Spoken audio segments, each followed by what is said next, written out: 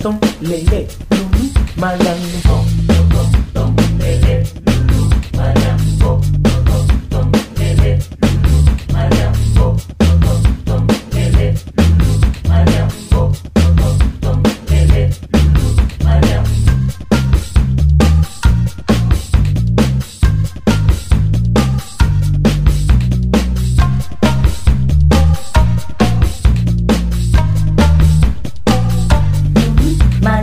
Bot, tom tom lele,